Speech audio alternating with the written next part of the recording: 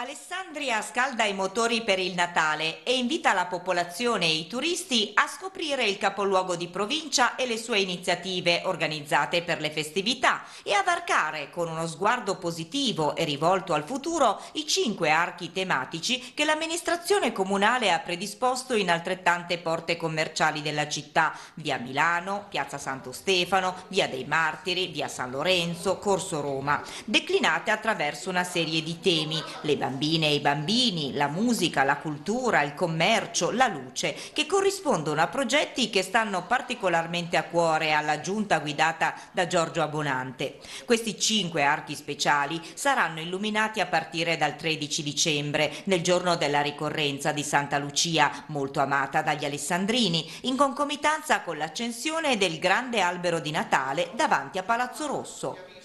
Ci sarà l'illuminazione e quindi l'inaugurazione dell'arco di Via Dante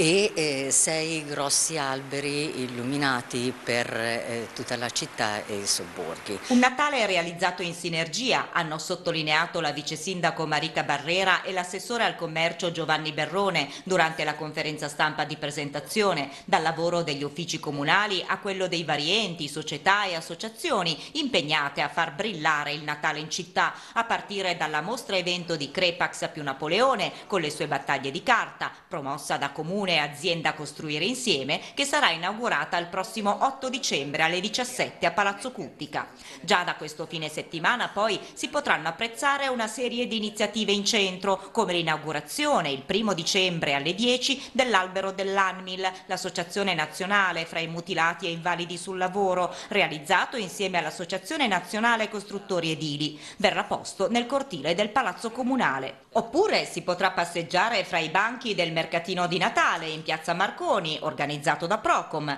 mentre sabato 2 dicembre alle 17.30 al Teatro delle Scienze è in programma il vernissage della mostra Auguri Alessandria del vignettista Bort. Al quartiere Cristo ci sarà invece uno spettacolo con gli elfi, uno dei tanti momenti pensati pure per i più piccoli. Un Natale dedicato ai bambini eh, perché ci sarà una baita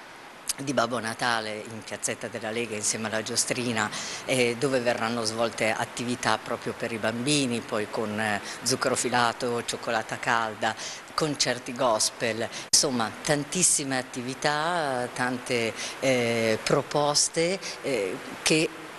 non solo aiuteranno, speriamo, il commercio alessandrino, ma eh, animeranno le vie eh, della, del nostro territorio eh, per grandi e bambini.